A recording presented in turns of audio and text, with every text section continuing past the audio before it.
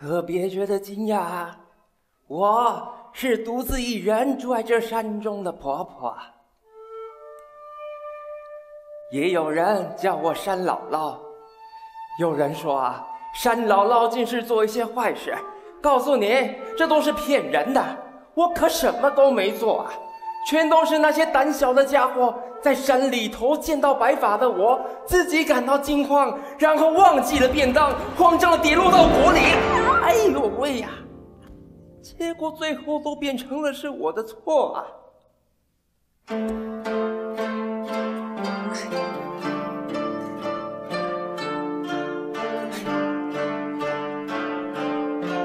小玲啊，虽然你还只是个十岁的小女孩，但看起来还蛮健壮的。嘿，什么我奇怪？我可一点都不奇怪呢，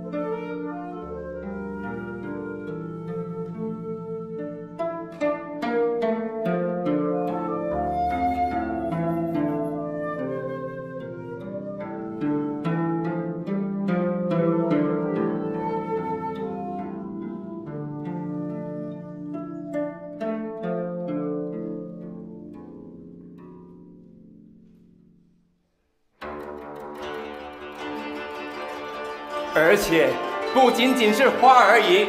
像这座山、那座山，甚至是远处那峰峰相连的每座山都是。这些山脉全都各自因为有一个男人，他为了守护更重要的事物，舍弃了生命才会存在的。就例如眼前这座山，是一位叫做八郎的山男，他为了保护村庄不被山洪泛滥所扰，他舍身沉入了八郎溪湖，因而形成这样的雄山峻岭。例如那边那座山，是一位叫做三仔的彪形大汉，他为了防止森林大火蔓延村庄与树林，他阻挡了熊熊烈焰，却死于炙热高温，而形成这样雄伟山林啊！この花咲山一面の